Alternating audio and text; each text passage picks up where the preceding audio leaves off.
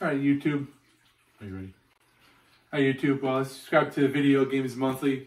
Uh, this is the first box that we got. It's kind of small, but hey, I got the uh, the fifty dollar membership.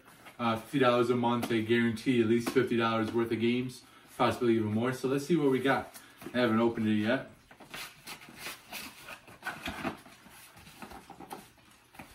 As you can tell, first thing Interesting, interesting, interesting. So we got some video game monthly stuff, some one-up cards. Oh, congratulations, you have received one free game. Ooh. I have to go get that, look into that. This is more stuff over here that you guys are going to see in another video probably. The first games first, we got Fabio. Ooh. Ironsword. Uh, they could have done a little bit better job of uh, making sure that the video games come a little clean. That's um pretty disgusting. I'm not gonna lie. Ew. Next up, we got a sealed 3DS game, nothing special, codenamed Steam. Next up, we got freaking Chima, sealed. Again, nothing special. Oh, Jesus Christ. This is terrible.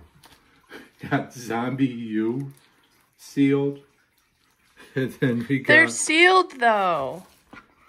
This is literally the first box that they Wow. Well, talk about deflating a freaking video. Um, yeah, I paid, I don't know if there's $50 here. Um, would I recommend it for people? Probably not. You got to pick what you wanted. I picked a bunch of Nintendo's, PS1, uh, a bunch of other things. Um, yeah, this wasn't great. I'm not gonna lie. You would think the first one that they send you, they would like play it up. Yeah, they want you to go crazy to buy more. Right. But yeah, um, Hmm. Yeah, video game monthly. Maybe the first and last one you see of this. Um, yeah, this is not good at all. These are probably going to be giveaways on whatnot. Heck to be yeah. Totally honest. But whatever. What, Cindy?